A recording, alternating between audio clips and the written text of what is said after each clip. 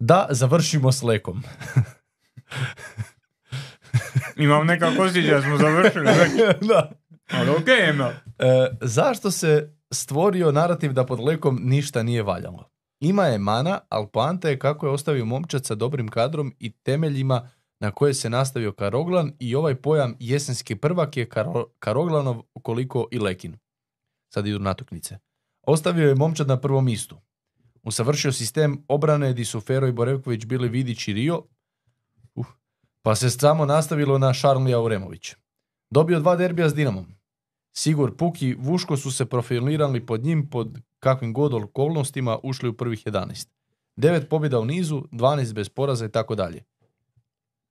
I pitanje za Jožu ili klubovi imaju kakve prihode od ovih sličica i albuma, to mene čovjek zanima. Vjerojatno ne. Da, dobro. Mogu ja. Da, da, da, pače. Ljudi kod nas vole pljunit na bilo šta. Ljudi vole izvući neke stvari iz konteksta. Ja slažem da se uh, danas puno negativnije govori o Leki nego što on to zaslužuje. I ja priznajem sam tu subjektivan. Jer on je kapetan kluba za kojeg sam navija kad sam bio dite. Znači on meni nekakva prva uspomena na, na nogomet, na, na normalno je da si ti malo pristraniji prema njemu nego što sam pristran prema Valdasu, recimo. Ali isto tako i priča, evo, sa Vuškovićem, nije to baš toliko plošno, koliko se kaže. I ova priča s obranom isto nije baš toliko jednostavna koliko izgleda na prvu ruku.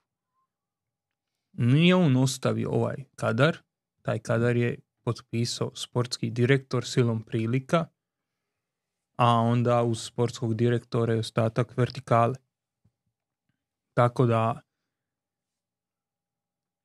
slažem se sa suštinom pitanja da ga se malo previše kritizira, ali isto tako ne treba se ni previše hvaliti. Istina je negdje u sredini gdje on je odradio neke stvari, ali ne, mo- ne možemo reći da je baš dobio ishitreni od, otkaz i da nije ovaj da, da je sve super bilo. Nije bilo sve super.